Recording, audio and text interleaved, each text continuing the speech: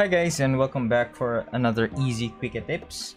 Uh, we have an Ender 3 here in the shop that needs a firmware update. I just want to show you uh, how to determine if your printer doesn't have a bootloader yet. Okay, so I'm gonna plug in the USB cable.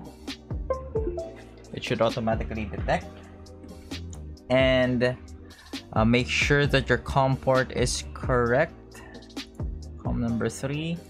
And once we upload this code you will see a specific error which we'll get into. There you go. Uh, once you see this error which is the STK500 and uh, underscore get synced it means that your printer doesn't have a bootloader yet so what we need to do is to flash a bootloader to your printer in order to upload the firmware.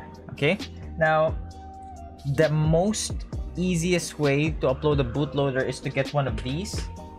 Uh, this is a USB ASP loader and we only need to plug this in run the boot or burn the bootloader and then we will be able to flash the new firmware which we will do right now.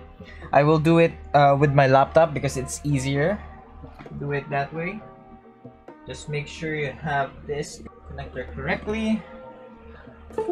Remove the USB cable. And then we just need to access my laptop for this. Plug it in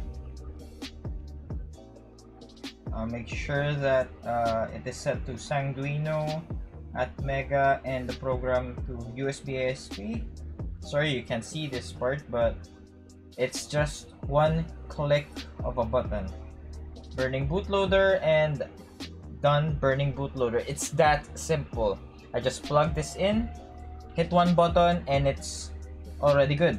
Now I will remove this, right?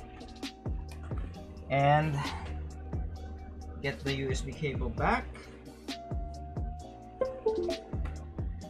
Now it doesn't it won't show any uh, anything on the LCD because we wiped it with a new bootloader and then if we upload the code this may take a while maybe a minute or two but you will see that it will be able to uh, fully and completely upload the code.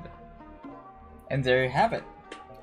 We have successfully uploaded a new code and uh, burned a bootloader to this old Ender 3.